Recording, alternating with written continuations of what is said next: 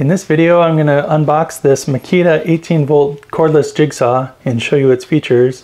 And at the end of this video I'm going to show you how to make a jig to cut a perfect circle using this Makita cordless jigsaw. Welcome back to the wood shop. My name's Brett. This cordless jigsaw is the newest tool in my shop. I bought it to cut the circles for my rotating cornhole boards. More on that in another video. But before we get to the unboxing, let me take you on a little trip to the store to show you how I selected this make and model. I already have a corded jigsaw, but I wanted a cordless jigsaw because I was going to be cutting circles and the cord kind of gets in the way of that. Originally I was looking at the Ridgid brushless cordless jigsaw because I already have a few of the Ridgid 18 volt batteries and a charger. And I also liked that the Ridgid had a built-in dust collection port but when I got to the store, they didn't have any of the Ridgid in stock. And I was anxious to get going on building these rotating cornhole boards because I was trying to get a set done by Labor Day at the cabin. So now I had a decision to make. Which brand of jigsaw will I be going home with? As you can see, there are several brands to choose from. And uh, the deciding factor for me was which 18 volt batteries do I already own. I didn't want to invest in yet another set of batteries and its charger because they're expensive.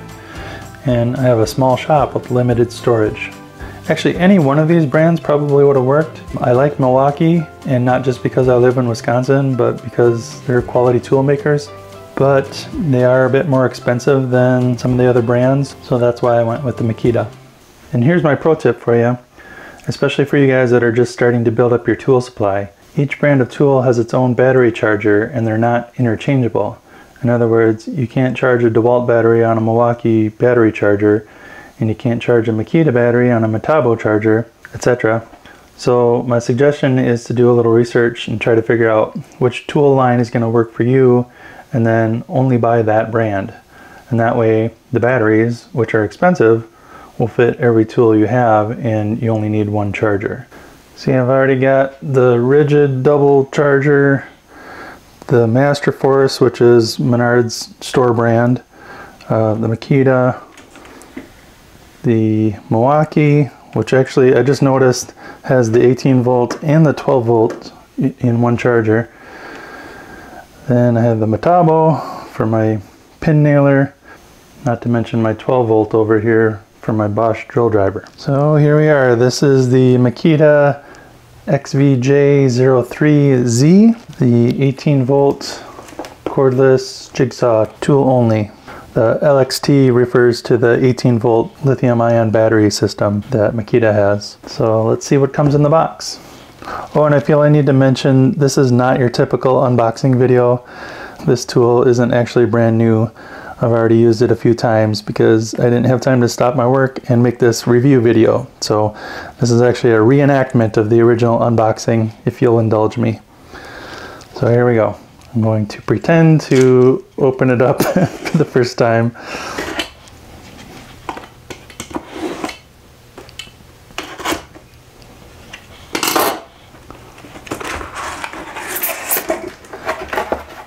And a lot of uh, unboxing videos gloss right past this paperwork stuff, but I think this is worth a mention. Look at this uh, poster that Makita gives you. Makita boasts the world's largest cordless tool lineup powered by 18 volt lithium ion battery. 270 plus tools that all fit this one battery. So that's pretty impressive. Registration, owner's manual. Comes with six blades, and as you can see, I've already smoked one, and I broke the other one that was this size, but um, two of each type. So this one being a more aggressive tooth that cuts on the upstroke um, for ripping through material pretty quickly. I busted one of these already um, and smoked this one, cutting a bigger hole in our kitchen cabinet for a, a new double oven that I just installed this past weekend. And then just not that easy to get out of here. Come on. You can do it! Good grief. Get out of there. Okay. These are super fine, fine tiny teeth, and this is for cutting metal. And of course the tool. This is tool only, does not come with a battery or charger. That box would be bigger and it would have been a higher price tag. So the rest of this is just cardboard. And the first thing when you pick it up, you'll notice it's kind of heavy. Um, it's well balanced. It's, you know, balances on my trigger finger and it's super stable on the surface. And I like this top handle or D handle. Uh, the other jigsaw I have is a barrel grip, uh, kind of like that. And I think I like this D handle better. Up on top here we got a trigger lock. It locks out the trigger, to prevent accidental startup and a variable speed trigger from 0 to 2600 strokes per minute. This is not the brushless. The brushless would have a speed control over here that goes from 800 to I believe 3600 strokes per minute. So this is just a variable speed trigger, a little bit slower than the brushless. The brushless also would be a little bit longer in the body. And another difference is the brushless has the, the blades insert right into the opening just by pressing it in.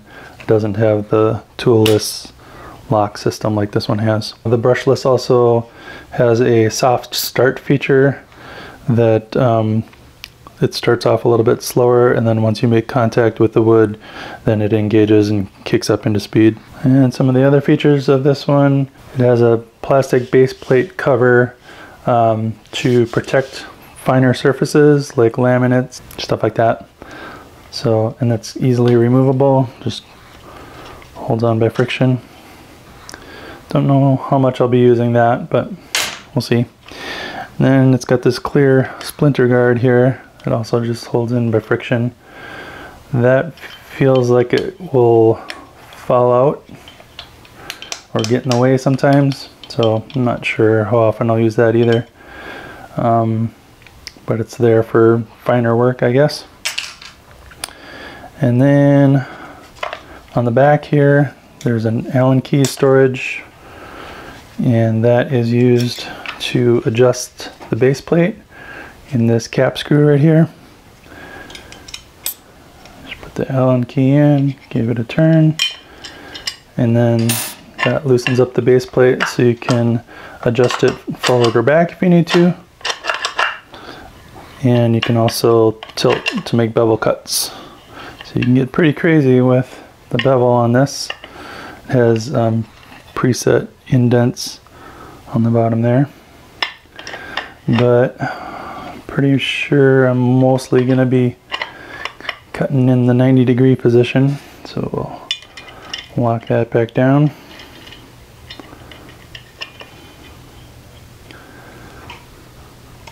and stow the key. And like most modern jigsaws, this accepts a T-shank. Looks like a T. This has a toolless blade lock. So you swing that open and pop it in there and then release that and then it's in. I'm going to show you a different angle there.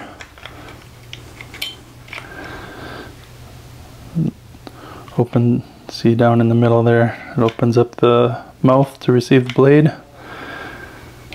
Pop the blade in there. Make sure you're matched up with the rolling guide here. Teeth forward of course. And just let that blade lock come back. Um, it will actually accept it in backwards. Um, and it'll it'll lock in there.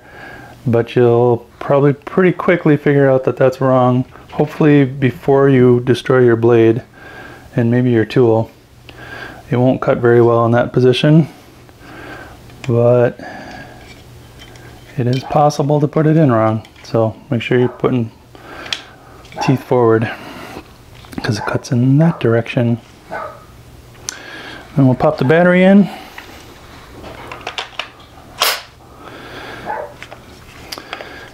And away we go. Got a nice LED light right in front of the blade. Comes on when you hit the trigger. And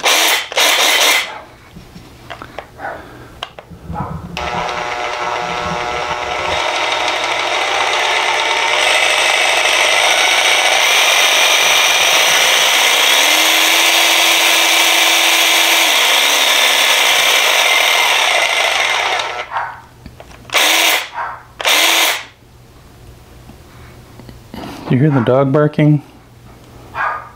That is annoying.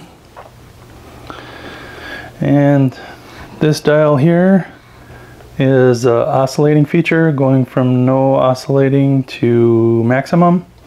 It's got one, two, three different positions in addition to straight.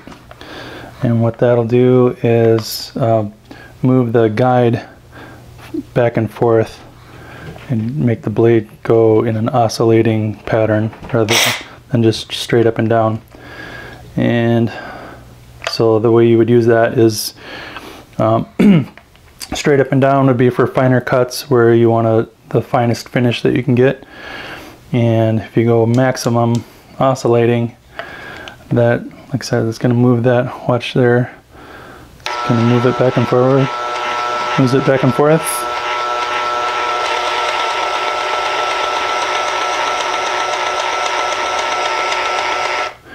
And you would use that if it'll help you clear out wood chips faster to make a faster cut if you're not as worried about a fine finish. So you got those options. And the LXT 18 volt lithium ion battery boasts a 30 minute charge time, which is actually pretty quick, giving you more work time, less charge time. So it's got that going for it. All right, let's put this thing to work. I'm going to show you how to make a circle cutting jig to cut perfect circles.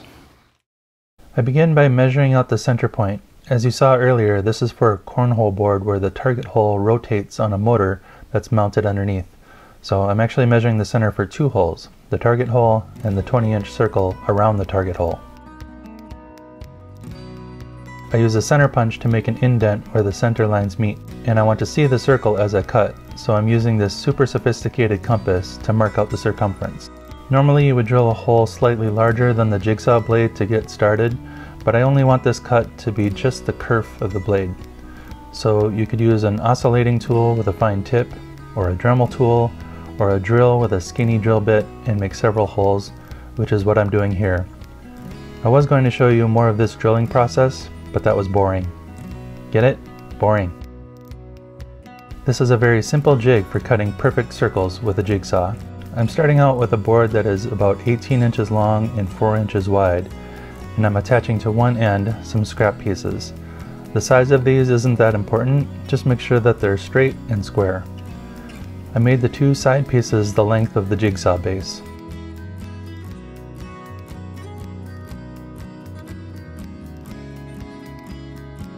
I've removed the blade from my Makita jigsaw put it into my jig lined up with the side piece that is already attached and place a second piece so that the jigsaw is snug.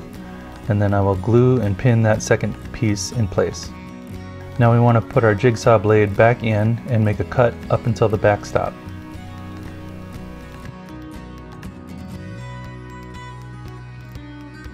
So now with our jig made, we can go ahead and cut out our circle.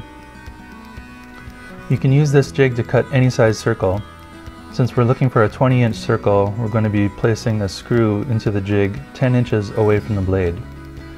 I like to get the screw started, that way I can actually see it and then line it up with the mark that I made earlier. This is actually pretty important to get the circle centered on the board.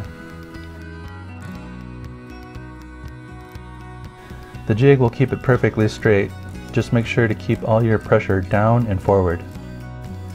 If your jig is long enough, the screw in the center will actually keep the circle from falling in once it's cut. Mine wasn't quite long enough, so I grabbed the target hole before finishing the cut. Otherwise, there's a risk of bending the blade and messing up the cut. There we go, a perfect circle. And then we'll do some light sanding. Now, am I saying that this Makita cordless jigsaw is the one you should go out and get? By no means. You do what's right for you, in your shop, in your budget. I will say, I like this Makita jigsaw. I don't have a lot to compare it to, but I'm happy with it. I did notice after I bought this that Amazon has the same jigsaw for $50 cheaper than the price I paid at Home Depot. I provided a link in the description below. Don't forget to subscribe if you haven't already, and give it a thumbs up if you thought this was helpful. Thanks for watching.